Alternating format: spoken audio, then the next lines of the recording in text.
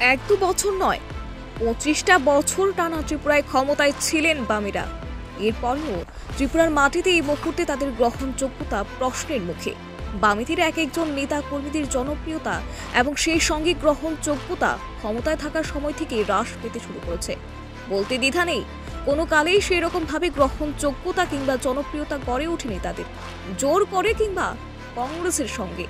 মিতালি সম্পর্কের জেরেই সরকার প্রতিষ্ঠিত হয়েছে ঠিক।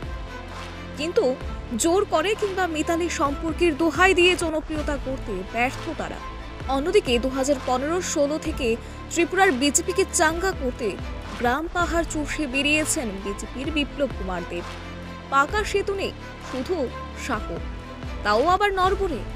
পাকা রাস্তা তো দূর, গহন অরণ্যের মধ্য দিয়ে এক ফালি কাঁচা রাস্তা দিয়ে গুটি গুটি পায়ে সেই সব প্রত্যন্ত এলাকায় পৌঁছে গিয়েছিলেন বিপ্লব কুমার দেব।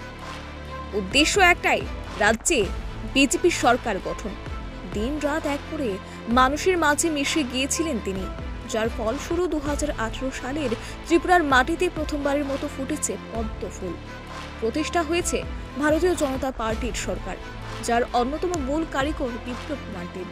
তখন থেকেই জনপ্রিয়তা বাড়তে শুরু করেছে বিপ্লব কুমার দেবের সরকার গড়ে থেমে থাকেননি তিনি, হয়েছেন মুখ্যমন্ত্রী। সেই সময় তার একাধিক বলিষ্ঠ সিদ্ধান্ত তাকে জনপ্রিয়তার আরও শীর্ষে পৌঁছে দিয়েছে। ছিলেন মুখ্যমন্ত্রী, হয়েছেন সাংসদ, সেই সঙ্গে বিজেপির হরিয়ানার প্রভারী, যার ফলে শুধু রাজ্যেই নয়, রাজ্য ছাড়িয়ে গিয়েছে বিপ্লবের জনপ্রিয়তা এবং গ্রহণযোগ্যতা। সেই জনপ্রিয়তা এবং গ্রহণযোগ্যতা তাই এবার বিরোধীদের মাথা ব্যথার কারণ হয়ে দাঁড়িয়েছে। যার দরুন এবার খোদ ত্রিপুরায় প্রাক্তন মুখ্যমন্ত্রী এবং বর্তমান সাংসদ। সেই সঙ্গে হরিয়ানার বিজেপি প্রভারীর বাড়িতে বিরোধীদের হামলা। বহুবার বিপ্লব কুমার দেবের এই গ্রহণযোগ্যতা এবং জনপ্রিয়তা তাকে নষ্ট করার প্রয়াস চালিয়েছে বাম কংগ্রেসের। বারবার ব্যর্থ হয়ে এবার কিনা বাড়িতেই হামলা।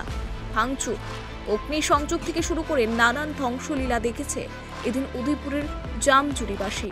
বুধবার বিপ্লব দেবের বাবা প্রয়াত হিরণ দেবের মৃত্যুবার্ষিকী। পরিকল্পনা ছিল, প্রয়াত বাবার মৃত্যুবার্ষিকীতে করা হবে পূজার্চনা। বহিরাজ্য থেকে এসেছেন সাধু সন্ত পুরোহিতেরা। বিপ্লব কুমার দেব শুধু একজন মানুষই নয়, তিনি ত্রিপুরাবাসীর সম্পদ, তিনি ত্রিপুরাবাসীর অহংকার। তার টিকির নাগাল না পেয়ে সাধু সন্ততির উপরে মঙ্গলবার রাতে হামলা চালানো সিপিআইএম এর দুর্বৃত্তরা। সিপিআইএম বিধায়ক রতন ভৌমিক সে এলাকায় মঙ্গলবার সাংগঠনিক বৈঠক করেন। সেখানে এই ছক কষা হয় এই হামলার।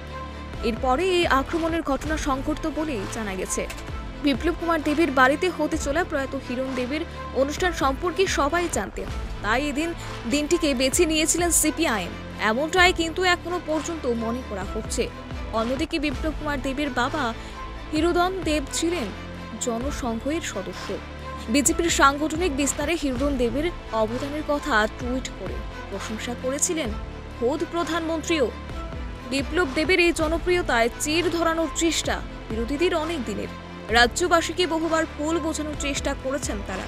কিন্তু লাভের লাভ কিছুই হয়নি। বিপ্লব দেবের জনপ্রিয়তা এবং গ্রহণযোগ্যতা আগে যেমনটা ছিল বর্তমান সময়ে, তা আকাশ সম উচ্চতায় গিয়ে দাঁড়িয়েছে।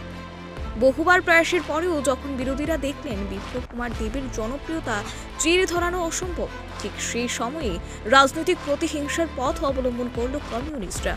ভোটমুখী ত্রিপুরায় যখন রাজনৈতিক পর্যা ঠিক সেই সময়ে এই ঘটনা ঘটতে হলো?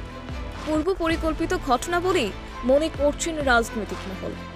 বামেদের সকলেই নিজেদের নাস্তিক বলে পরিচয় দিতে ভীষণভাবেই বিশ্বাস করেন। সেই নাস্তিকতার প্রমাণই রাখলেন তারা। নিজের ধর্ম এবং কর্মে বিশ্বাসী পুত্র যখন বুক ভরা শ্রদ্ধা নিয়ে আয়োজন করেছেন বাবার মৃত্যুবার্ষিকীতে পূজার্চনা। ঠিক এর আগের রাতেই সেই পূজার্চনা ভেস্তে দিতে চালালো আক্রমণ। পুরো দমে নাস্তিক না হলে এই ধরনের কার্যকলাপ কখনোই সংঘটিত করতে পারতেন না বাম আশ্রিত দুর্বৃত্তরা।